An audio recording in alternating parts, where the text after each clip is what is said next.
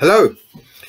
If we are at war with coronavirus and the governmental politicians, mostly hunkered in their bunkers, are the equivalent of quislings, despite the Johnson Churchillian bombast of VE Day rhetoric, rather than a victory, it's been a defeat equivalent to the ignominious surrender of Singapore or the slaughter on the Somme.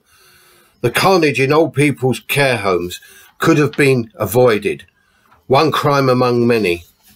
The lies, bluster, outright mendacity of government spokesmen is churned out on a daily basis, along with their unbelievable, overwhelming arrogance.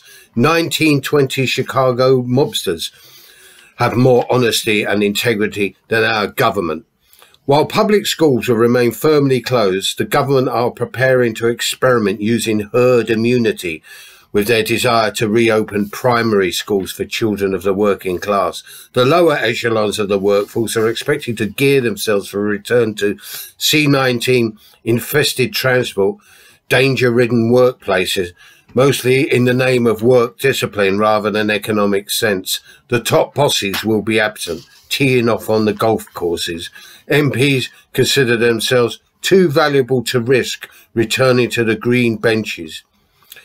Given what's to come, there's already talk of an inquiry sometime in the future to determine blame.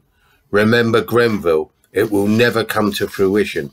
If it's a war, a war, then those responsible should be tried as war criminals for the disasters already perpetrated and the atrocities to come. As far as I'm concerned, the verdict is already in.